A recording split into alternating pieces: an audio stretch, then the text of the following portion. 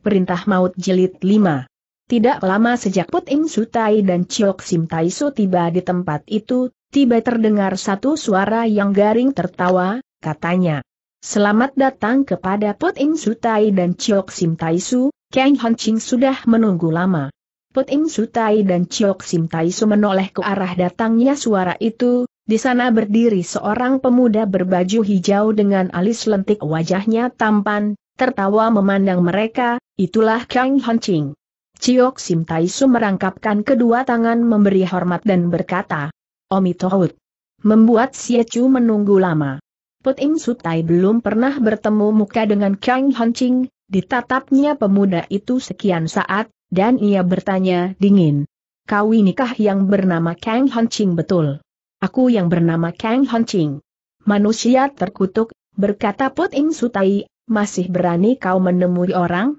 Alis lentiknya Kang Hancing terjingkat, ia tersenyum kecil berkata, Eh, datang memaki orang?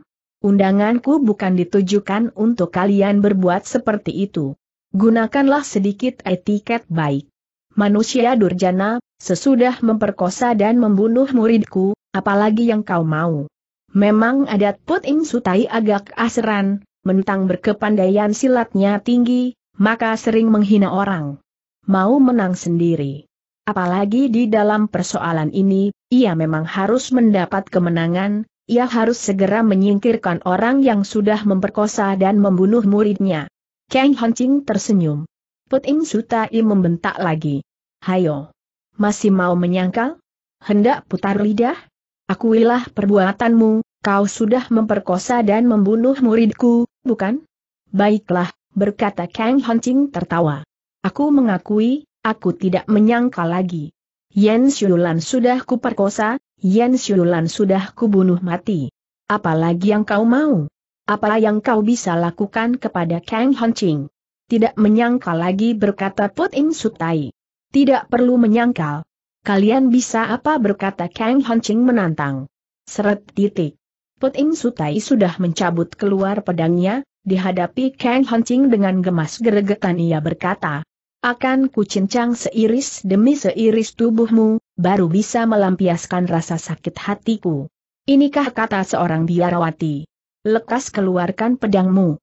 Mari kita bertempur 300 jurus, berkata Put Im Sutai.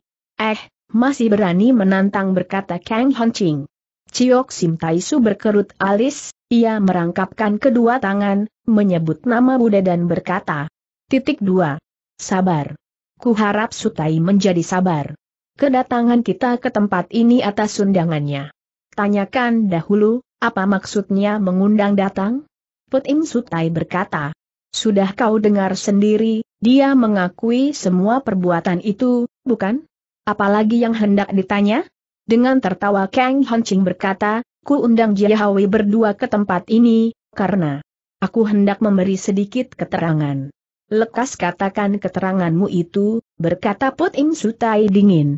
Kang Hancing tidak segera lekas mengucapkan suaranya, lebih dahulu ia menggibrikan bajunya yang kena debu, sesudah itu dengan sepatah demi sepatah ia berkata, Kang Hancing belum pernah melakukan sesuatu dengan di bawah ancaman, maka kalau mau mendengar keteranganku, simpan dahulu pedang itu. Agar tidak membawa mesiu peperangan. Put Im Sutai geregetan sekali, tapi apa boleh buat, ia menancapkan pedangnya di tanah, sesudah itu ia berkata, Nah, lekas katakan, keterangan yang hendak kau beritahu. Kang Hancing tertawa kecil, memandang kedua jago silat itu lalu berkata, Jiawei berdua telah berkunjung ke gedung keluarga Kang. Tidak salah, berkata Chok Sim Taisu. Kami baru saja meninggalkan rumahmu.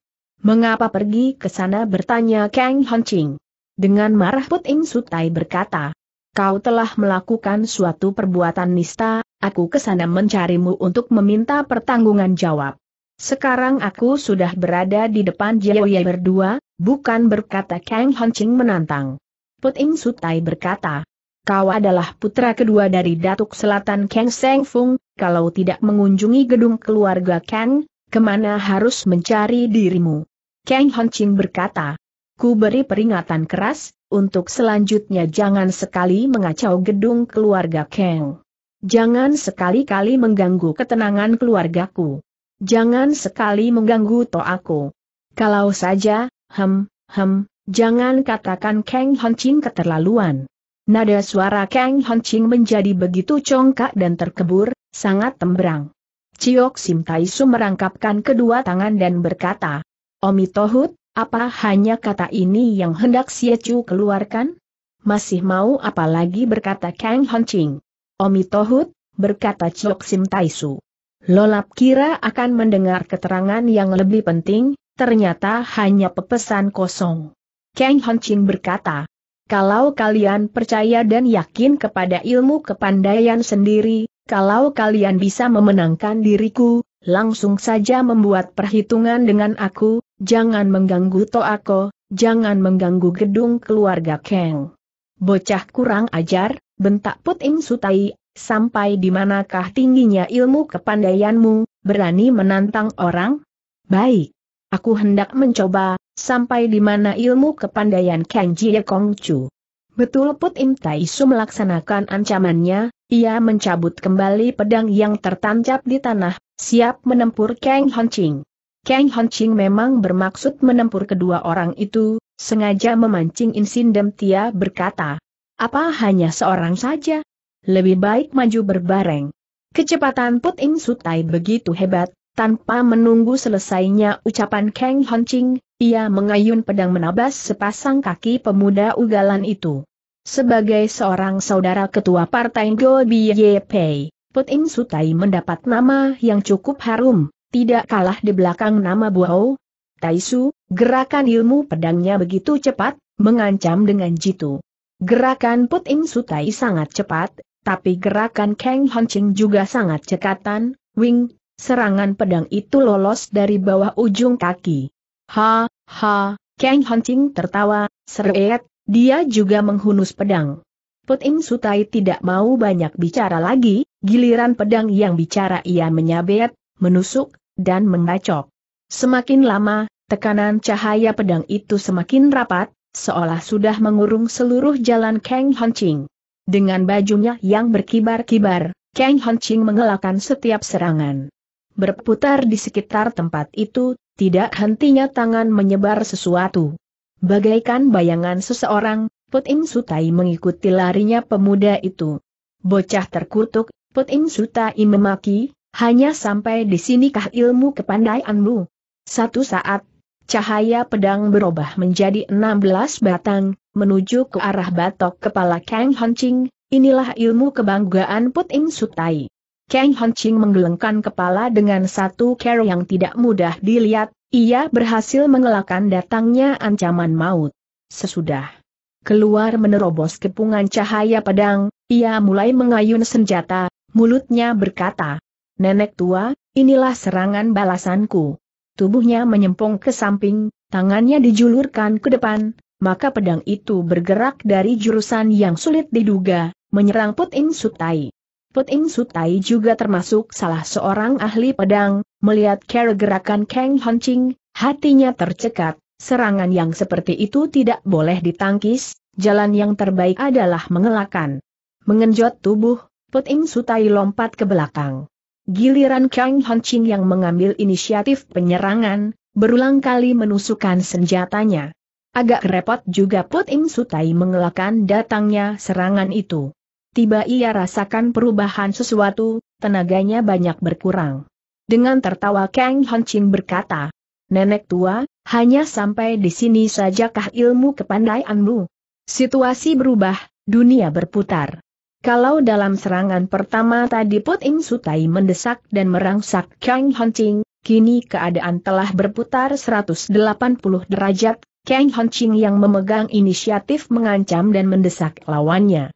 Put Im Sutai berusaha mengelak dan menangkis serangan itu, agak sulit juga, semakin lama tenaganya semakin pudar. Kang Honching menusuk lagi. Put Im Sutai mengertak gigi, menyentilkan pedangnya, menukik dan menghajar. Indah ilmu kepandaian terakhir, ilmu kepandaian simpanan yang sering membuat mematahkan semangat lawan. Sebagai seorang ahli pedang puluhan tahun, Put Im Sutai mengancam delapan jalan darah Kang Hancing. Kalau saja salah satu dari ancaman itu mengenai sasarannya, tubuh Kang Kancing akan terkapar di tanah. Kang Hancing tertawa dingin, pundaknya terangkat, menangkis datangnya serangan itu. Perangkit. Pedang Put Im Sutai diterbangkan. Secepat itu pula, Kang Hancing meneruskan serangan, menotok jalan darah Put Im Sutai. Tubuh Put Im Sutai jatuh musruk di tanah, dia bingung memikirkan kejadian tadi, Bagaimana dengan mendadak sontak tenaganya bisa lumer dan lembek? Apa yang telah terjadi? Karena itulah, tanpa ada pegangan kekuatan, pedangnya diterbangkan Kang Hancing. Tentu telah terjadi sesuatu. Menyaksikan jatuhnya Seng kawan, Ciok Sim Taisu terkejut, ia melejitkan tubuh menyelak di tengah dan membentak. Kang Hancing, jangan kau main gila. Kang Hancing memperlihatkan sikapnya yang angkuh dan sombong, melirik ke arah Chok Sim Taisu dan berkata, Nah, kini giliranmu. Jarak Chok Sim Taisu dan Kang Hancing sudah sangat dekat, Padri tua itu menganggukkan kepala berkata, Baik, giliranku yang hendak meminta pelajaran. Kang Hancing telah menjatuhkan Put Im Sutai dalam waktu yang sangat singkat, Hal ini membuat Chok Sim Taisu tidak berani memandang ringan kepada lawannya. Ia lebih berhati-hati, menyedot napasnya dalam. Dicurahkan ke arah kedua telapak tangan, siap menghadapi pertempuran. Ah ah ah ah ah, tiba saja Chok Sim Taisu tercekat, tangannya tidak bisa diangkat, wajahnya berubah, ia telah terkena semacam racun yang tidak terlihat, karena itu seperti keadaannya Put Im Sutai yang tidak bisa memegang pedangnya, kekuatan Ciok Sim Taisu juga lenyap, karena adanya sesuatu yang berada di luar dugaan ini, sepasang matanya memandang wajah Kang Hancing, menduga kalau putra dari keturunan Datuk Persilatan itu main gila, si Padri mengeluarkan bentakan. Kang Hancing, berani kau main gila. Racun apa yang sudah kau tebarkan kepadaku? Mengapa menjadi seperti ini? Kang Hancing menengadahkan kepala, tertawa dingin dan berkata, Lucu. Apaan kau ini? Dengan mengertak gigi Chok Sim Taisu berkata, Kang Hancing, kau telah membuat perkosaan. Melakukan pembunuhan, masih berani menaburkan racun kepadaku dan Put Im Sutai? Betul jahat, betul jahat. Tutup mulut bentak Kang Hancing. Berulang kali kau berlaku tidak sopan akan kubunuh dirimu. Pedangnya disodorkan ke depan, menjurus ke arah Ciok Sim Taisu. Betapa lihai pun ilmu kepandaian Ciok Sim Taisu, karena ia sudah mendapat taburan obat racun lemas, tanpa bisa dilakan, pedang Kang Hancing menotok jalan darahnya. Gede berok, ia jatuh di tanah. Ha, ha, ha, Kang Hancing tertawa besar, menudingkan jari ke arah Put Im Sutai dan Ciok Sim Taisu, ia berkata, Ha, ha, tokoh God YP dan Xiao Lim Pei, hanya seperti ini sajakah kepandaianmu? Kalau betul kalian mempunyai ilmu kepandaian, langsung berhadapan dengan aku, jangan kau mengganggu saudaraku lagi. Jangan berani mengganggu gedung keluarga Kang, hee. Wajah Put Im Sutai pucat pasi, peredaran jalan darahnya membeku, ia tidak bisa bergerak, hanya mulutnya yang masih mendapat kebebasannya mengumpat caci. Manusia terkutuk. Durjana, sudah memperkosa orang, membikin pembunuhan, berani kau menghina lagi? Bah, hayo. Kalau kau mempunyai keberanian, bunuh aku sekalian. Sepasang mata Kang Hancing berkilat-kilat ia berkata, Maksudku bukan hendak membikin pembunuhan, tapi, kau sendiri yang minta mati, baiklah. Kau kira aku takut kepada God Pei, lebih baik kuputuskan sepasang telingamu untuk memberi peringatan. Tanda petik. Secepat itu pula, pedang Kang Hancing melayang, meluncur ke arah kepala Put Im Sutai, dengan maksud membabat sepasang telinga biarawati itu. Di saat ini, satu bayangan meluncur datang, mulutnya berteriak keras. Jiate, jangan. Bayangan yang datang adalah putra tertua dari gedong keluarga Kang, Kang Puching. Kang Hancing mendongakkan kepala, mengenali siapa yang datang, segera ia berdehem keras, melirik ke arah Put Im Suta Ichok Sim Tai lalu berkata, Sepasang telinga masih beruntung. Sesudah itu, Kang Ching melejitkan kaki meluncur ke arah utara, meninggalkan Kang Ching. Kang Ching segera berteriak, Jiet E. Tanda petik. Tapi Kang Ching tidak menghiraukan panggilan itu, meluncur lari pergi. Kang Ching menghampiri Put Ing Sutai dan Chiok Sim Tai Su, ia berkata, Eh, bagaimana bisa terjadi kejadian yang seperti ini? Ciok Sim Taisu menyebut nama Buddha berkata, kedatangan Kang Toa Kong Chu sangat kebetulan. Lolap dan Sutai ini telah diracuni oleh adikmu, menderita keracunan dalam. Ah, Kang Pucing terkejut, betul JT. Tanda petik. Di saat ini, lain bayangan lagi meluncur datang, ia memotong pembicaraan Kang Pucing. Seharusnya Toa Kong Chu bisa membedakan, Orang tadi bukanlah Kang Jie Kong Chu yang asli. Orang yang datang belakangan ini adalah pendekar cerdik pandai Goan Tian Hoat. Kang Puhcing terkejut, hatinya tergetar, dengan memaksa tertawa ia menoleh ke arah Goan Tian Hoat dan berkata, Eh, mengapa saudara Goan datang turut serta? Dengan tertawa Goan Tian Hoat berkata, untuk menjaga sesuatu dari ketidakberasan, dengan membawa beberapa orang kita, kita selalu siap untuk membantu. Apa yang Goan Tian Hoat kemukakan memang betul terjadi. Empat orang laki berpakaian ringkas dengan golok di pinggang lari mendatangi, mereka adalah anak buah gedung keluarga Kang. Kang Puh Ching menganggukkan kepala berkata, Put In Sutai dan Chiok Sim Tai Su telah menderita keracunan dalam, mari kita menggotong dan menolong mereka. Meninggalkan cerita Kang Puh Ching, Goan Tian Hoat, dan orang gedung keluarga Kang yang membawa Put Ing Sutai dan Chiok Sim Tai Su kembali ke gedung Datuk Persilatan Daerah Selatan. Menyusul jejak bayangan Kang Ching yang melesat ke arah utara ini. Tidak lama dari berkelebatnya bayangan Kang Ching, dari balik semak muncul pula lain bayangan, mengikuti bayangan Kang Ching di depan. Yang mengherankan, Bayangan yang di belakang juga adalah bayangan Kang Ching. ada dua Kang Ching. Sampai di sini sudah waktunya kita membuka sedikit tabir rahasia, bayangan yang di depan adalah benar Kang Ching palsu yang dikatakan oleh Goan Tian Hoa tadi dan bayangan. Yang di belakang adalah Kang Ching yang asli, yang palsu adalah orang yang sudah membunuh Yen Xulan di Vihara Chiok Chuk Am, dan bayangan yang di belakang adalah Kang Ching asli, hendak membekuk lehernya si penjahat, mencari tahu dengan alasan apa orang hendak mencelakakan dirinya. Dua bayangan itu saling meluncur, yang di depan cepat, tapi Kang Ching mengikuti dengan berhati, agar jejaknya tidak kelihatan oleh orang yang dibuntuti. Waktu sudah menjelang sore, pohon sudah tunduk ke bawah, matahari sebagian sudah berada di bawah tanah. Mereka masih meluncur dengan kecepatan maksimum.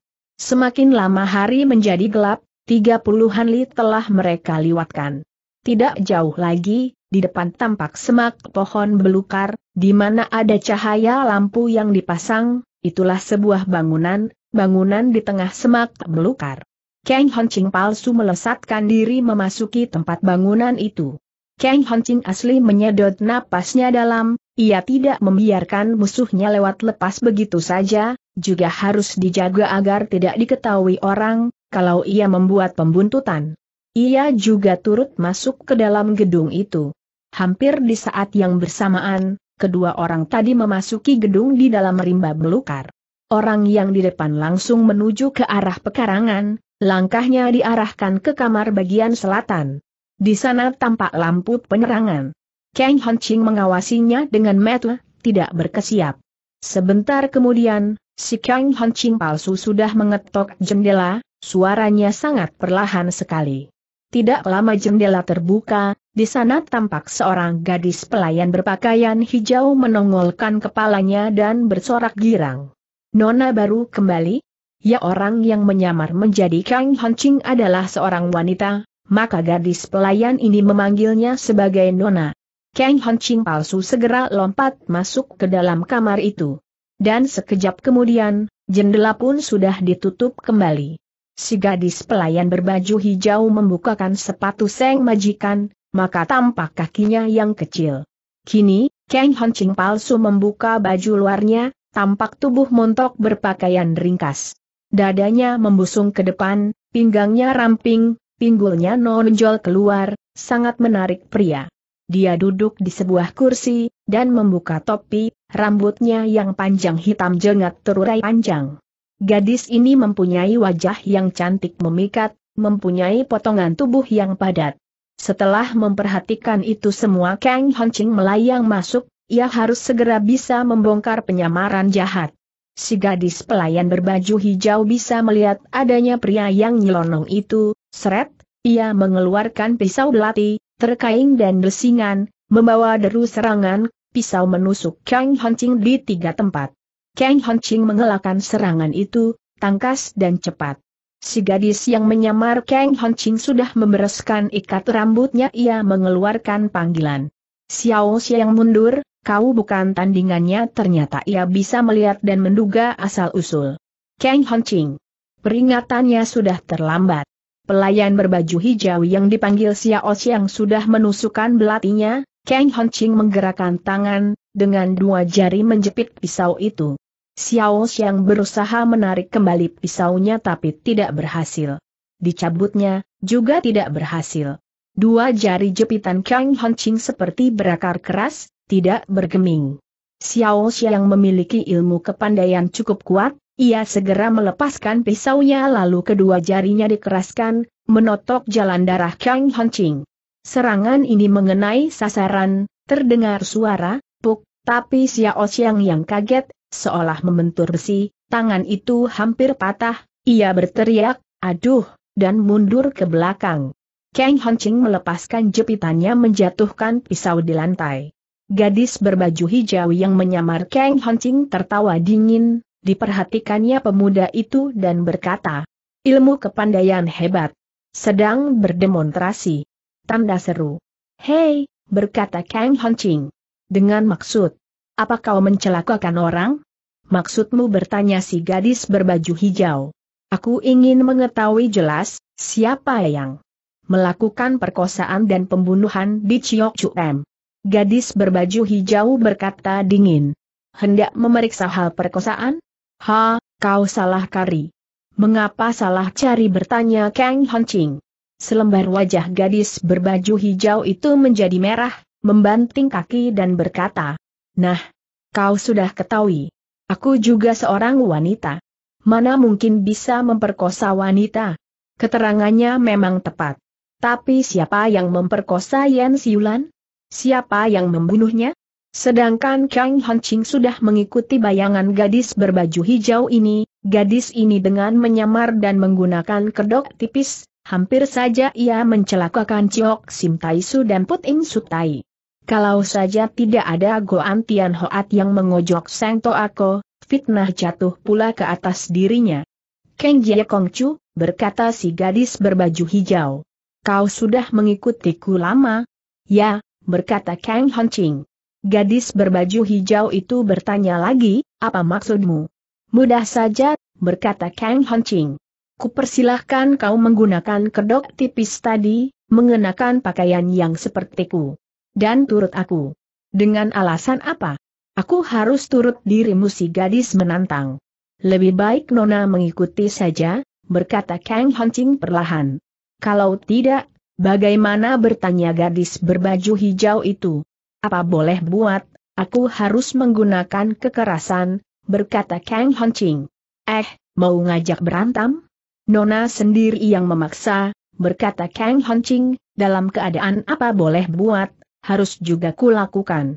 Bagus, berkata si gadis berbaju hijau, sudah lama ku dengar ilmu kepandaian silat Kang Jie Kong Chu yang hebat, tapi belum ku coba. Mari kita bergebrak beberapa jurus. Boleh saja, berkata Kang Hancing. Kalau Nona tidak bisa mengambil kemenangan ku harap saja bisa turut aku. Tentu, berkata si gadis berbaju hijau. Nah, mulailah. Silahkan kau yang mulai berkata Kang Hancing. Baik. Terima seranganku, pedangnya disentak sedikit, menusuk perut Kang Hancing. Kang Hancing tidak pernah gentar, seret, ia mengeluarkan pedang, dan menepuk serangan pedang si gadis. gadis berbaju hijau itu tertawa cekikikan, pedangnya sebagai seekor ular yang licin, bergelut dan meluncur ke bawah, dari sana meletik ke atas, cahaya kilatan pedang berkelebat, mengancam tenggorokan. Kang Hancing terkejut, kecepatan ilmu pedang gadis ini sungguh luar biasa, karena itu, untuk mengimbanginya ia pun bergerak cepat menutup ke arah luar. Si gadis tidak berhenti sampai di situ, di tengah jalan ia mengubah arah, tusukan pedang mengancam, kini menggores dari atas ke bawah. Seolah mau membelah perut Kang Hancing. Kang Hancing menubruk tempat kosong, rasa kagetnya tidak kepalang cepat menyedot perut mundur satu langkah. Inisiatif penyerangan masih berada di tangan si gadis berbaju hijau, pedangnya berkilat, sekaligus menyerang di tujuh tempat. Setiap tempat yang diarah adalah tempat yang berbahaya. Betapa bunga hati si gadis berbaju hijau, menyaksikan kecepatan gerakannya yang berhasil menekan Kang Hancing, si pemuda sudah berada di dalam situasi posisi terjepit, Tentu saja si gadis tidak melepaskan kesempatan baik, terus-menerus menyerang lagi, mulutnya membentak, tangannya terayun, membuat gerakan istimewa, terjadi delapan kali getaran pedang, ujung pedang mengancam delapan tempat, delapan tempat itu adalah delapan jalan darah kematian Kang Hancing. Bila mana salah satu dari kedelapan ancaman serangan pedang itu mengenai sedikit saja tubuhnya, Kang Hancing akan luka parah dan bila serangan pedang si gadis berhasil menusuk sedikit, Kang Hancing akan mati segera. Ancaman hebat dan luar biasa. Tapi di saat inilah, terdengar suara Kang Hancing. Awas Nona! Terdengar suara teng, teng, ting, ting, semua serangan pedang si gadis ditangkis dengan baik. Hanya dengan menyempil ujung pedang serangan istimewa si gadis berbaju hijau punah dan hancur. Secepat itu pula, pedang Kang Hancing berhasil menekan pedang si gadis dengan kekuatan raksasa. Si gadis berbaju hijau tidak menyangka kalau Kang Hancing ini masih mempunyai banyak ilmu simpanan, ia hendak menarik pulang pedangnya, tapi sudah terlambat. Pletok, pedangnya tertekan dan jatuh berdentang di lantai. Apa boleh buat gadis berbaju hijau melepaskan pegangan lompat jauh ke belakang? Kang Hancing sangat yakin kepada ilmu kepandaian yang dimiliki, tidak mengejar gadis tersebut, ia berdiri tenang, dengan kalem berkata, Nona sudah menderita kekalahan, mari turut aku. Siapa yang kalah berkata si gadis berbaju hijau. Nah, lihat lain acaraku. Tangannya terayun, jalur merah mengarungi ruangan itu, menelungkup ke arah Kang Hancing. Menduga kepada datangnya senjata rahasia Kang Hancing menggerakkan pedang, dengan tertawa dingin menangkis serangan itu. Dugaan Kang Hancing meleset, jalur merah yang ditaburkan oleh si gadis adalah jalur yang sangat halus, semacam sutra halus, terpecah dan buyar di sekitar kepalanya, mengeluruk jatuh. Yang lebih hebat, jalur sutra halus itu mempunyai kaitan kecil, kaitan tersebut khusus untuk menangkap orang, Siapa saja yang terkait, tidak mungkin mengelakkan diri, dan selanjutnya bisa meringkusnya. Kang Hancing kurang pengalaman Kang Ou, ia tidak kenal dari mana senjata luar biasa tadi. Berulang kali pedangnya menangkis, tubuhnya pun mundur ke belakang. Si gadis berbaju hijau tertawa cekikikan dan berkata, Jalaku ini bernama jala penembus langit, dewa dan iblis pun tidak bisa mengelakkan apalagi seorang manusia. Menyerahlah. Dengan senjata yang aneh luar biasa itu, si gadis berbaju hijau mendesak Kang Hancing. Berulang kali Kang Hancing menabas jala berlapis langit, jala itu aneh, alot, dipotong tidak putus, ditabas menjadi lembek, pedangnya tidak berdaya. Yang lebih hebat lagi, kalau menangkis datangnya jala itu, ujung kaitannya yang tajam melengkung datang, semakin cepat ia bergerak, Semakin cepat pula reaksinya, kecuali berlompatan ke sana kemari, tidak ada lain jalan untuk memecahkan senjata aneh itu. Bekerjanya jala penembus langit memang aneh luar biasa, si gadis berbaju hijau sudah melatih diri selama tahunan, mengurung Kang Hancing. Kang Hancing berusaha mengelakkan datangnya kurungan itu, terlalu sulit, ia berlompatan kian kemari, pedangnya menangkis dan memotong, toh tidak berdaya. ia harus mengelakkan datangnya kaitan kecil itu lagi, lebih sulit lagi. Pedang Kang Hancing juga termasuk pedang pusaka, pedang yang bisa memutuskan segala benda keras. Menghadapi jala halus itu, ia tidak berdaya. Tiba pikiran Kang Hancing tergerak, dia tidak bisa membabat putus jala sutra halus. Tapi kaitan yang berbengkok adalah terbuat dari logam, kini diincarnya logam itu. Terang, sebuah kaitan yang datang berhasil dibabat putus. Terang, lagi sebuah kaitan dari ujung jala penembus langit dipapas putus. Terang, terang, terang. Kang Hancing membabat putus kaitan yang berada di ujung jala penembus langit itu.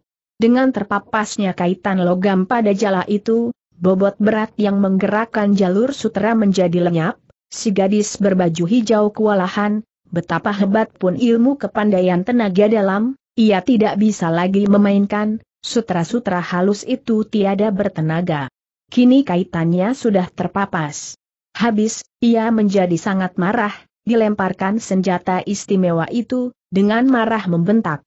Kang Honching. Bukan maksud kami membunuh dirimu.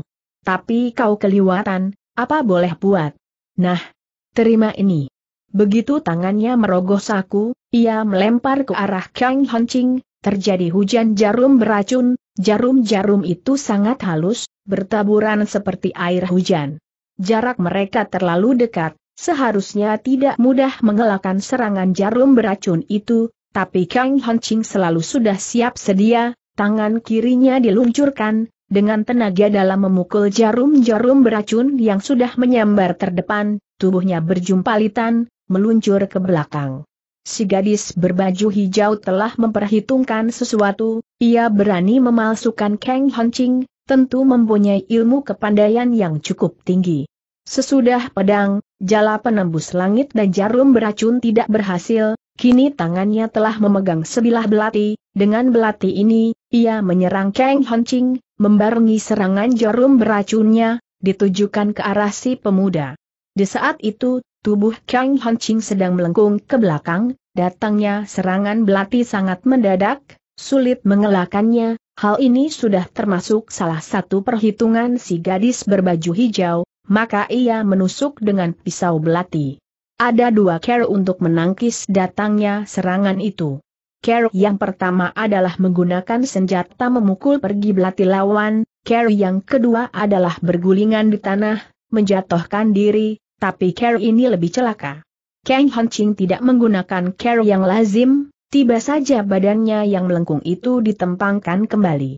Celaka ini berani memajukan perutnya untuk ditublas oleh belati si gadis berbaju hijau. Si gadis berbaju hijau menjadi kaget, mana mungkin ada care perlawanan yang seperti itu? Menjerit keras. Ia bingung untuk meneruskan serangan belatinya yang sudah disodorkan ke depan itu. Tak. Di dalam situasi kebingungan itu, tiba jari Kang Hancing menyentil belati si gadis. Belati itu jatuh terbang. Kang Hancing sudah berdiri berhadap-hadapan, jarak mereka cukup dekat, hampir bersampokan kulit. Dengan ilmu kepandaiannya yang tinggi, Kang Hancing berhasil mengelakkan segala macam bahaya. Ia sudah berada di ambang pintu kemenangan, dengan sombong berkata, Nona, apalagi permainanmu? Silahkan. Tanda petik. Sebelum kata Kang Hancing dilepas habis, lain senjata rahasia lagi melepus, tangan kiri si Gadis terayun, benda merah menghampiri Kang Hancing. Kang Hancing sedang berpikir senjata rahasia macam apa lagi yang dikeluarkan? Tangannya menauk, menerima datangnya gumpalan merah itu. Aa, ternyata selembar sapu tangan merah, bau harum parfum seorang gadis menusuk hidung. Hanya selembar sapu tangan merah yang digunakan untuk menyerang? Sapu tangan merah ini bukan sapu tangan biasa, hawa bau harum itu telah mendapat olahan istimewa pula, di saat Kang Hancing mengendus bau harum itu, tiba sepasang kakinya menjadi lemas, ia terjatuh duduk. Kang Hancing keracunan secara halus. Giliran gadis berbaju hijau yang tertawa cekikikan, katanya, Hai, hai, Kang Jie Kong Chu, sampai di sini sajakah pertempuran kita? kedua tangan dan kedua kaki Kang Hancing tidak bertenaga lagi, Ia bisa melihat, ia bisa mendengar, bisa bersuara, tapi tidak bisa menggerakkan tenaga. Kekuatannya telah dihancur luluhkan oleh gumpalan racun itu. Si gadis berbaju hijau memandang ke arah Kang Honching, kemudian menoleh ke arah pelayannya dan berkata, Xiao Xiang, Kang Jie Kong Chu adalah tamu kita, mana pantas membiarkan seorang tamu duduk numprah di tanah, hayo. Lekas bawakan kursi. Bangunkan dan dudukkan di atas kursi. Si pelayan Xiao Xiang bisa bekerja cepat menyeret sebuah kursi, diletakkan di tengah lalu memayang Kang Honching yang sudah tiada daya, didudukan di atas kursi itu. Sesudah selesai, Xiao Xiang mengeluarkan keluhan dan berkata, Uh, orang ini berat sekali. Si gadis berbaju hijau mendelikan mata, mendatangi Kang Honching dan berdiri di depan si pemuda, ia tertawa. Jie Kongcu, apa masih ingin menyeret aku ke Chiok Lam? Kang Honching mengatupkan mata, tidak menggubris cemoohan tadi. Si gadis berbaju hijau berkata lagi, sapu tangan merahku tidak mempunyai daya. Bius, hanya bisa menjinakkan seseorang yang galak. Mengapa Kang Jie Kong Chu menutup mata, tidak berani menerima kenyataan? Suaranya merdu, sangat menarik hati. Kang Ching merentangkan kedua mata, ia membentak. Bah! Mengapa tidak berani hai, hai? Gadis itu tertawa lagi. Ilmu kepandaian Kang Jie Kong Chu memang hebat. Sudah boleh membanggakan diri di dalam dunia Kang Ou? Dengan marah Kang Ching membentak, aku telah tertipu olehmu, kalau mau bunuh. Lekas bunuh, jangan banyak cincong. Maaf berkata si gadis berbaju hijau, tidak seharusnya aku menggunakan obat pelemas itu menjatuhkan Jia Kong Chu. Tapi, tidak ada jalan lain. Terpaksa aku harus menahan Jia Kong Chu. Kau hendak menahan aku di sini bertanya Kang Honching. Gadis berbaju hijau itu menganggukkan kepala. Maksudmu, ayah angkatku ingin bertemu. Hati Kang Honching tergerak, ternyata si gadis berbaju hijau hanya dalang, ia masih mempunyai seorang ayah angkat. Ayah angkat itu hendak bertemu. Apa maksud tujuannya? Siapakah orang yang menjadi ayah angkat si gadis? Mungkinkah Lengcu Panji Hitam? Kang Honching menentang sepasang sinar mata si gadis yang jeli, ia bertanya. Lengcu Panji Hitam yang kau maksudkan tidak perlu terburu, berkata si gadis. Sebentar lagi kalian segera bertemu. Siapa nama ayah angkatmu bertanya Kang Honching. Tanya saja kepadanya, kalau ayah angkatku bersedia memberitahu, ia bisa bicara sendiri. Tidak perlu meminta keteranganku. Hati Kang Honching tergerak, dari pembicaraan tadi, ia bisa membuktikan bahwa ayah si gadis berbaju hijau bukanlah Lengcu Panji Hitam. Siapa? Oh, Mungkinkah orang yang menjadi pemimpin dari Lengcu Panji Hitam? Sekali lagi Kang Honching menatap gadis di depannya, gadis itu sangat cantik, cukup menarik, badannya padat dan gempal, memiliki ilmu kepandaian silat yang cukup tinggi.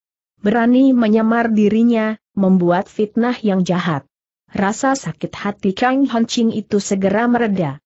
Mereka saling pandang sebentar, cepat Kang Honching bertanya. Bagaimana sebutan Nona? Oh, aku lupa memberitahu, berkata si gadis. Aku Sutolan. Nama si gadis berbaju hijau adalah Sutolan. Apa maksud tujuan Sutolan menggunakan wajah Kang Honching, mencelakakan Kang Honching? Inilah yang harus diselidiki. Kapan aku bisa bertemu dengan ayah angkat Nona bertanya lagi Kang Honching. Gadis berbaju hijau Sutolan berkata. Tidak lama. Tunggulah beritanya. Lebih baik Jie Kong Chu menetap di sini dahulu, sesudah ku beri. Tahu ayah angkatku itu, nanti Jie Kong Chu akan mendapat panggilan. Sesudah itu, dari dalam saku bajunya, Sutolan mengeluarkan sebuah botol obat, dituangnya, dari sana meluncur sebutir obat berwarna putih, diletakkan di tangan dan diserahkan kepada Kang Honching, ia berkata, inilah obat, agar kau bisa bebas dari pengaruh racun lemas itu. Kang Honching memandang obat itu dan bertanya, apa kau tidak takut aku melarikan diri dengan tertawa Sutolan berkata, obat lemas itu sangat istimewa, tidak bisa membius orang, kerjanya juga sangat lambat, tapi penyembuhannya pun sangat lambat. Kau harus membutuhkan waktu tiga hari, maka kau baru bisa bebas kembali. Sekarang obat yang kuberikan hanya sebutir, kau hanya bisa menyembuhkan sepertiga dari kelumpuhan itu. Kau bisa bergerak, tapi tidak bisa mengerahkan tenaga. Belum boleh menggunakan tenaga. Dengan dingin Kang Hancing berkata, pantas saja Nona begitu royal. Jangan salahkan aku, berkata Sutolan kau boleh menjadi tamu di tempat ini. Sutolan menjulurkan tangannya, menjudukan obat itu dan berkata, Bersediakah kau makan obat ini? Keadaan Kang Hancing begitu mengenaskan, ia duduk numperah di bangku, mengangkat tangannya saja sudah tidak bisa, apalagi untuk berjalan. Mendapat sodoran obat, ia segera merentangkan mulut. Perlahan Sutolan meletakkan obat itu ke dalam mulut Kang Hancing, diberi minum dan ia berkata, Maafkan, aku masih ada lain urusan. Di sini ada Xiao Xiang yang melayani segala kebutuhan Jie Kongcu, kalau perlu sesuatu, panggil saja dirinya. Sesudah itu, ia berpesan kepada Xiao Xiang, Xiao Xiang, Jie Kongcu masih belum makan. Lekas siapkan barang santapan. Xiao Xiang segera mengiyakan perintah itu, lari keluar untuk membuat makanan. Sutolan meninggalkan tempat itu. Bekerjanya obat tadi sangat cepat sebentar kemudian Kang Hancing bisa menggerakkan tangan dan kaki. Tapi ia masih tidak bisa menggunakan tenaga, pengaruh bau harum semerbak dari sapu tangan merah itu memang hebat. Kang Hancing tidak menjadi khawatir atas kesulitan dirinya, ia harus membongkar rahasia, siapa orang yang membuat fitnah jahat itu? Bintik terang mulai menampak, kalau saja ia meneruskan penyelidikannya, tidak sulit. Menemukan biang keladi dari segala biang kekerokan. Si gadis berbaju hijau sutolan hanya sebuah pion, orang telah memalsukan dirinya, dengan maksud memperdalam fitnah-fitnah itu. Kang Honchin berjalan mundar-mandir di ruangan tadi. Ia sedang berusaha, bagaimana membebaskan diri dari kehilangan tenaga? Tidak lama kemudian, tampak pintu terbuka, Xiao Xiang berjalan masuk dengan makanan. Pelayan itu berkata, Jie Kongcu, silahkan makan. Kang Ching memang mulai merasakan perutnya keroncongan, tidak segan melahap semua makanan itu. Xiao Xiang menantikan di samping, menunggu sampai selesai, si pelayan bertanya. Jie Kongcu masih mau tambah apa lagi tidak? Sudah cukup. Xiao Xiang membersih sisa makanan. Menggunakan kesempatan ini, Kang Ching mengajukan pertanyaan. Xiao Xiang, apakah ditugaskan melayani kebutuhan Nona Sutolan tadi?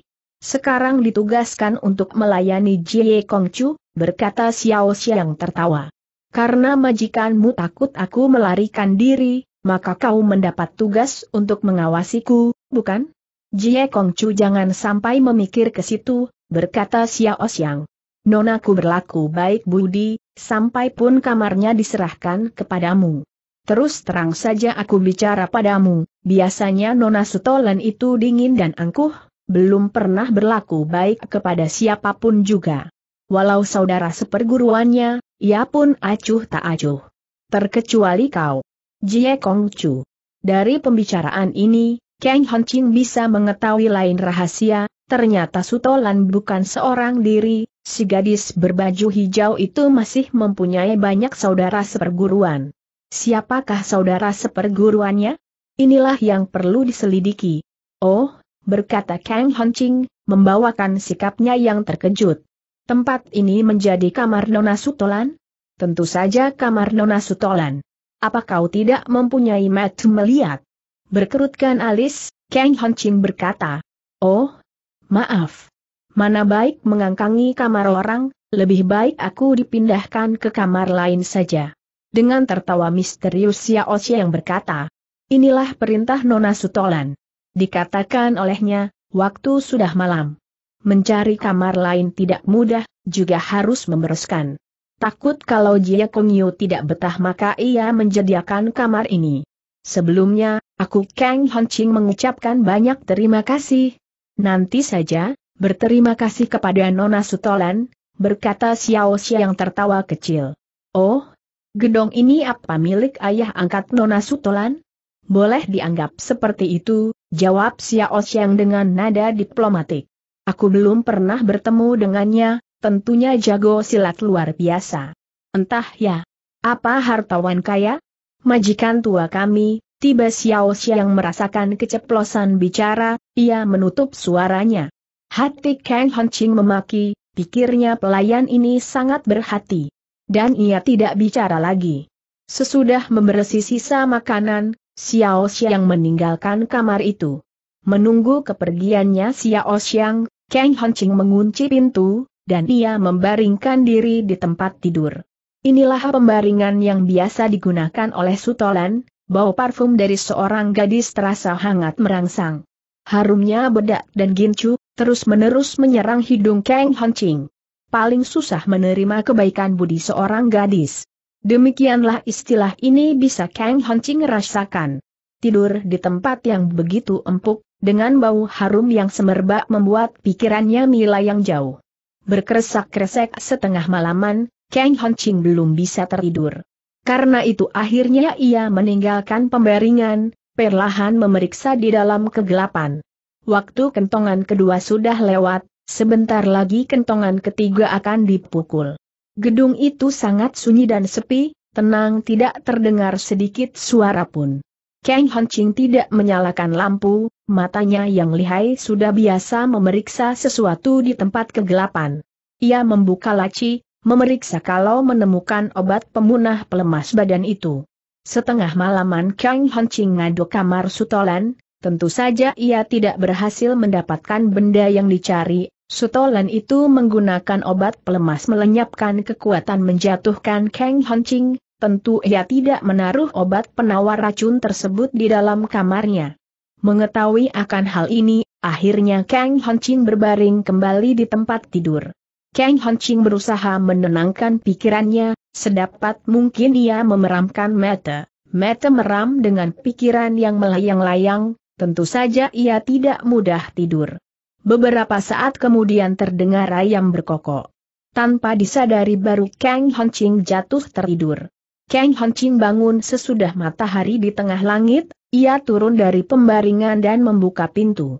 Di pintu kamar Xiaos yang sudah menanti, melihat Kang Hancing yang sudah bangun, pelayan itu memberi hormat, dengan tertawa berkata, Jie Kongcu bisa tidur nyenyak. Wajah Kang Hancing menjadi merah kalau saja teringat bagaimana ia gulang-guling di tempat tidur yang banyak pikiran kusut itu, ia menjadi malu kepada diri sendiri, dengan cengar-cengir berkata, Nonamu sudah kembali? Lebih dari satu kali, jawab Xiao Xiang. Kami takut mengganggu ketenangan Jie Kongcu, maka tidak membangunkan.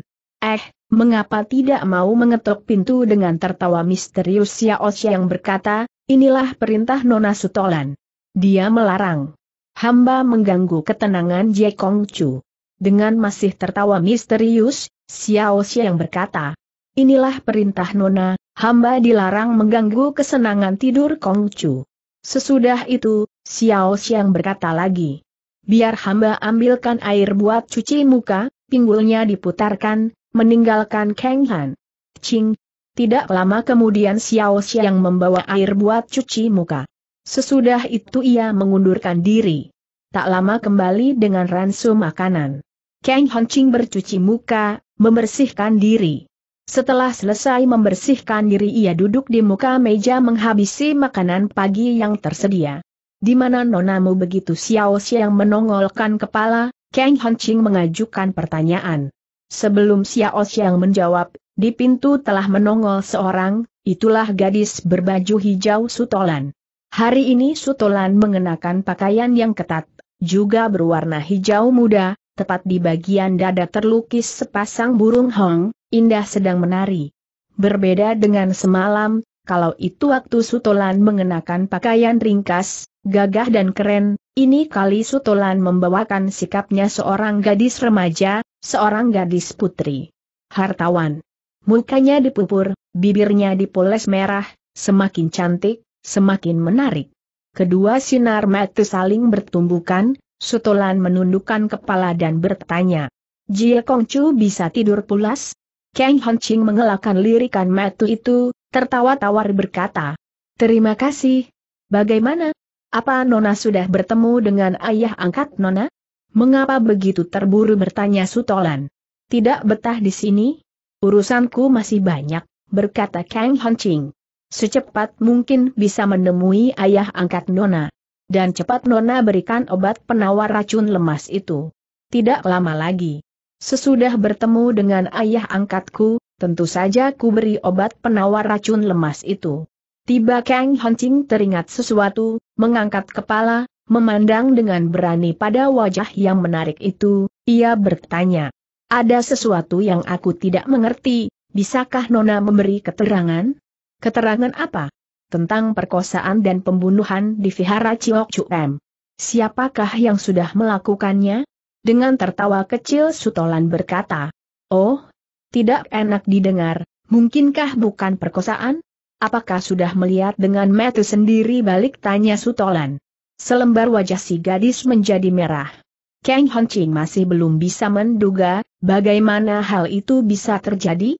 Segera ia berkata, di saat aku tiba di tempat itu, Yen Xiulan sudah terbaring di dalam keadaan telanjang, ia mati. Inilah yang kusaksikan. Kau hendak tahu urusan kematian Yen Siulan? Di dalam soal ini menyangkut nama baikku. Tentu saja harus tahu, Sutolan berkata. Yen Siulan mati di bawah kami. Kang Honching merentangkan sepasang matanya lebar, gadis secantik inikah yang membunuh orang? Dia hampir tidak percaya karena itu meminta ketegasan, katanya. Nona yang membunuh Yen Siulan eh, tidak percaya bertanya Sutolan. Betul sulit diterima. Dengar, berkata Sutolan perlahan. Karena Yen Xulan sudah berkhianat kepada golongan, karena itu harus mendapat hukuman kematian. Oh Kang Hancing terkejut. Yen Xulan juga termasuk salah satu dari anggota kalian? Sutolan memberikan satu kerlingan metu yang menarik, ia berkata. Hanya ini yang bisa ku beritahu kepadamu. Lain tidak. Golongan apakah nama golongan kalian itu bertanya Kang Hancing. Maaf. Untuk sementara masih harus dirahasiakan berkata Sutolan. Belum waktunya memberitahu kepadamu. Hati Kang Hancing mengeluh, ia sedang berhadapan dengan sesuatu golongan yang misterius, golongan baru yang tidak dikenal olehnya. Sutolan membiarkan Kang Hancing termenung seperti itu, beberapa saat kemudian ia bertanya perlahan. Aku juga ada sesuatu yang hendak ditanyakan, bisakah kau memberi jawaban yang memuaskan? Urusan apa bertanya Kang Hancing? Sepasang mata sutolan yang jeli terputar. Tidak hentinya mengirim kerlingan mata. Iya. Berkata. Ilmu kepandaian Jia Kongcu betul menakjubkan.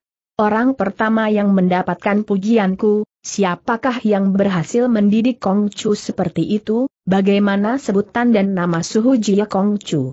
Tanda tanya. Kang Hancing berkata, suhu tidak berkelana di dalam rimba persilatan, namanya tidak mau diketahui orang. Sampai pun aku juga tidak mengetahui jelasnya. Bohong berkata Sutolan tertawa, mana ada murid yang tidak tahu nama gurunya? Tentu Jia Kongcu tidak mau memberitahu. Sungguh, berkata Kang Hancing, bukan tidak mau memberitahu. Kenyataan memang tidak tahu. Bila mana Nona bertanya kepada Toako, ia juga memberi keterangan yang seperti ini. Sutolan melicini bibirnya dan berkata, Hai, hai kau pandai bicara. Pembicaraan itu terputus kembali. Mereka duduk berhadapan. Beberapa lama kejadian yang canggung itu diputuskan oleh tertawanya Sutolan, ia berkata, Jie Kongcu, kita mengganti bahan pembicaraan, bagaimana? Apa yang Nona hendak percakapkan bertanya Kang Hancing. Apa saja, seperti tanda petik. Tiba terdengar suara derap langkah kaki yang bergerak cepat tiba di pintu dan terbatuk. Itulah suara Xiao Xiang. Nona Sutolan, panggil Xiao Xiang perlahan. Ada apa bentak Sutolan? Horden tersingkap, Xiao Xiang berjalan masuk, ia memberi hormat dan berkata, Baru saja hamba menerima perintah Hung Chu, ia memberitahu kalau mengharap kedatangan Nona dan Jia Kong Chu. Segera. Sutolan memperlihatkan sikapnya yang terkejut, dengan heran berkata, Biasanya ayah jarang mau menemui tamu. Baru saja ia melatih diri, hendak bertemu dengan Kang Jie Kongcu. Sesudah itu ia bangkit dari tempat duduknya, berkata kepada Kang Honching. Mungkin ayah kangen kepada nama besar Kang Jie Kongcu, maka pagi sudah hendak bertemu. Mari kuajak. Pikiran Kang Honching juga masih kacau, tenaganya juga sudah tiada, ia menjadi tawanan halus. Dari rombongan baru yang tidak diketahui asal-usulnya ini, karena itu ingin sekali bisa mengetahui yang lebih banyak, siapa ayah Sutolan yang misterius? Sutolan mengajak Kang Honching meninggalkan kamar itu. Mereka melalui lorong-lorong panjang, tiba di sebuah ruangan. Dan di sini Sutolan berkata, Inilah kamar ayah angkatku. Di depan pintu berdiri dua orang gadis, masing menyoren pedang di pinggang, melihat kedatangan. Sutolan, kedua gadis pelayan itu memberi hormat. Sutolan menganggukkan kepala, mengajak Kang Honching memasuki ruangan tengah. Dari dalam terdengar satu suara yang sangat dingin dan kaku. Sutolan yang datang? Ya, jawab Sutolan. Anakmu telah membawa Kang Jie Kong Chu. Suruh dia masuk, suara dingin dan ketus itu berkata. Sutolan menoleh ke arah Kang Honching dan berkata, itulah ayah angkatku. Mari masuk. Ruangan itu serba sederhana, di atas sebuah bangku panjang yang terbuat dari kayu jati, di kedua ujung terdapat pot bunga, dengan bunga lain yang semerbak, meresap dan menusuk hidung. Di depan bangku panjang itu terdapat empat kursi, terukir dengan baik. Kini, di atas bangku panjang berduduk seorang tua bermuka keren, ia mengenakan pakaian hijau. Tubuhnya tinggi besar, jenggotnya yang putih terurai panjang ke bawah. Matanya bercahaya, menyorot ke arah Kang Honching. Kau nikah Kang Jie Kong Chu ia bertanya. Kang Honching menganggukkan kepala dan berkata, Betul. Bo Ampoi Kang Honching. Dengan nada yang dingin dan kaku, orang tua itu berkata, Silahkan duduk. Tanpa diperintah kedua kali, Kang Honching mengambil kursi dan duduk di sana. Sutolan juga mengambil kursi lain dan merendengi Kang Honching, mereka duduk berhadapan dengan orang tua itu. Orang tua bermuka keren itu berkata, Selamat datang atas kunjungan Kang Jie Kong Chu ke rumah ini, aku mengucapkan selamat. Kang Honching memperhatikannya beberapa saat, ia bertanya, Bolehkah Bo Ampoe bertanya? Bagaimana sebutan Ciampoe yang mulia? Dengan dingin dan ketus orang tua berbaju hijau itu berkata, Aku tidak suka memberitahu kepada orang lain, jawabnya tembrang. Ho, ho, Kang Honching mengeluarkan dengusan dari hidung.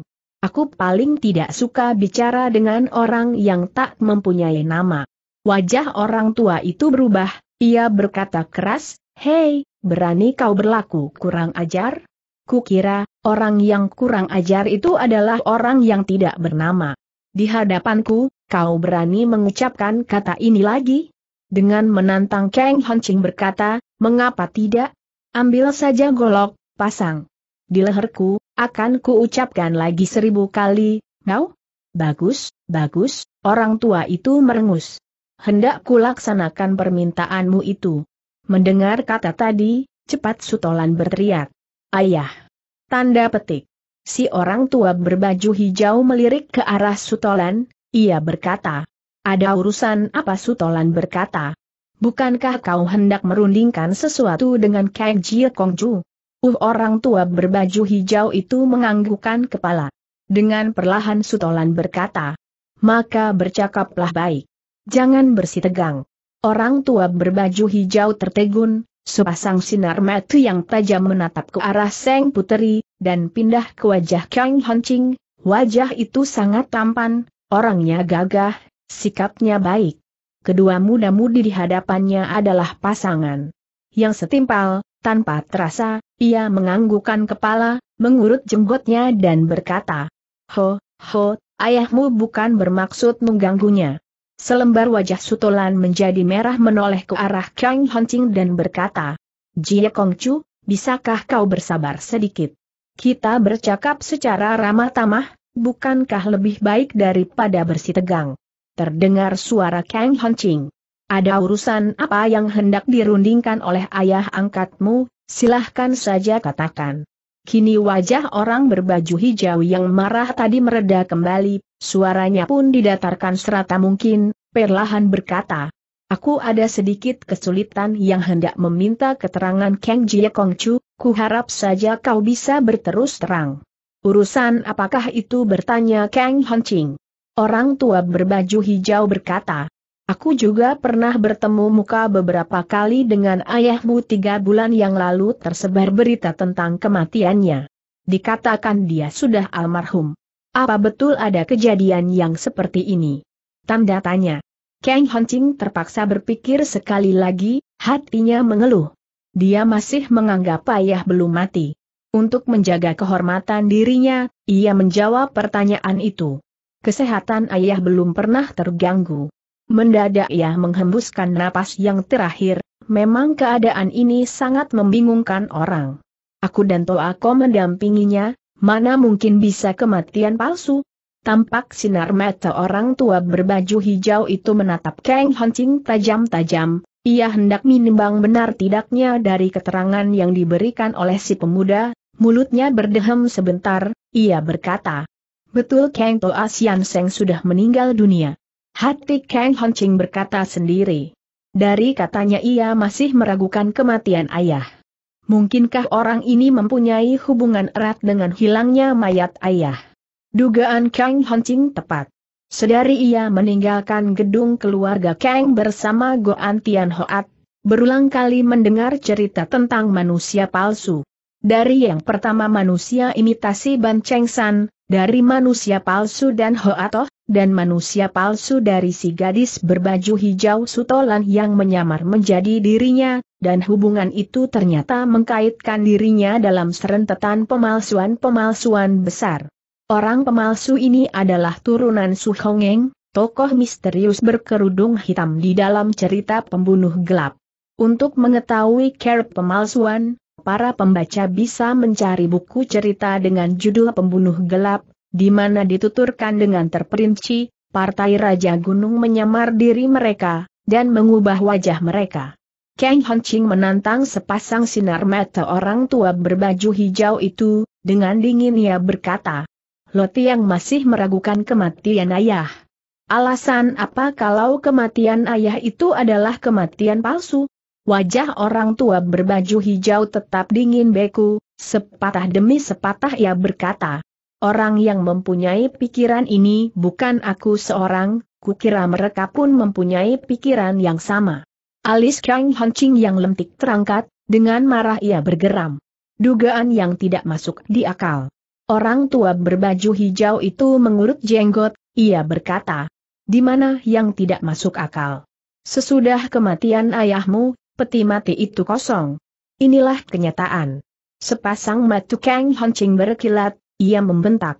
Ternyata tindakan Leng Chu Panji Hitam yang membongkar peti mati ayahku adalah instruksimu. Nah, orang tua berbaju hijau ini adalah salah satu tokoh penting dari golongan perintah maut. Orang inilah yang sudah menyuruh Leng Chu Panji Hitam membongkar peti mati Datuk Selatan Kang Seng Fung. Orang ini juga yang menyuruh Sutolan menyamar Kang Ching mempermainkan Put Im Sutai dan Chiok Sim Taisu. Orang tua berbaju hijau itu tertawa tawar, ia berkata, Sesudah kematian ayahmu, peti mati itu kosong melompong. Apa salahnya aku menyuruh orang memeriksa? Memeriksa? Apalagi yang diperiksa di kelenteng Chok Chuklem? Mengapa menyuruh orang mencelakakan diriku? Mengapa menyuruh orang memancing aku ke tempat itu? Sesudah membunuh Yan Shulan. Mengapa mengundang Put Im Sutai dan Chiok Sim Taisu, menjebak diriku? Terlalu banyak sekali pertanyaan itu, berkata orang tua berbaju hijau. Kematian Yen Xiulan hanya suatu kebetulan, kebetulan kau datang ke sana. Salahmu sendiri. Dengan alasan apa kalian membunuh Yen Xiulan bentak Kang Ching? Yen Xiulan adalah salah satu anggota kami yang sudah berkhianat. Kematian Yen Xiulan tidak ada hubungannya denganmu, Kang Jie Kong Chu. Hu Kang Hancing mengeluarkan dengusan dari hidung. Terdengar lagi suara orang tua berbaju hijau, undanganku kepadamu adalah untuk merundingkan sesuatu. Katakan lekas. Ku dengar cerita tentang ilmu kepandaianmu yang hebat, bagaimana kalau kau masuk menjadi anggota kita? Aku mendapat tugas untuk mengajak dirimu. Hati Kang Hancing tergerak, ternyata orang tua berbaju hijau ini juga bukan pimpinan tertinggi, ia hanya mendapat perintah saja. Memandang kepadanya dan bertanya, siapakah yang memberi instruksi untuk mengajak aku? Ketua Perintah Maut. Siapa yang menjadi ketua perintah maut sebelum kau bersumpah menjadi anggota? Perintah maut, urusan ini tetap menjadi suatu rahasia. Bagaimana anggaran dasar dan anggaran rumah tangga perintah maut? Apa yang menjadi panji hidup perintah maut tanda seru? Bagaimana haluan politik perintah maut? Legakan hatimu, golongan perintah maut adalah wadah untuk menampung semua tokoh-tokoh silat yang ada, menyatukan persengketaan yang terjadi di dalam rimba persilatan. Kalau saja kau mau menjadi salah satu anggota, tidak nanti mengecewakan. Kukira kedudukanmu tidak berada di bawahku. Kang Honching tidak segera memberikan jawaban, ia sedang memikir, golongan perintah maut adalah golongan baru, semboyannya masih gelap, dari tindak tanduk yang dilakukan orang itu, golongan ini bukanlah golongan betul. Ia tidak mau terjerumus ke dalam kehinaan, sudah seharusnya ia menolak. Sebelum Kang Hancing membuka suara, orang tua berbaju hijau itu berkata lagi, bagaimana? Kang Hancing mendongakkan kepala dan bertanya, aku dipaksa harus masuk? Orang tua berbaju hijau masih merocos terus, katanya. Bukan paksaan, hanya berapa anjuran. Kalau saja kau menerima tawaran ini, kedudukanmu sangat baik kedudukan Huawat. Apa artinya Huawat bertanya Kang Hancing. Huawat hanya berada di bawah ketua, sama saja dengan wakil ketua, kecuali ketua pribadi, kau bisa menggerakkan seluruh anggota kita. Oh, tanda petik. Orang tua berbaju hijau berkata lagi. Lebih jelas lagi ku ceritakan. Beberapa tahun yang lalu, aku juga yang mendapat tugas menyambangi ayahmu, ku katakan kepada ayahmu, golongan kita menyediakan tempat huat kepadanya, dengan maksud agar ia bisa menerima jabatan itu. Tanda petik. Ayah tidak akan menerima tawaran itu potong Kang Hancing singkat.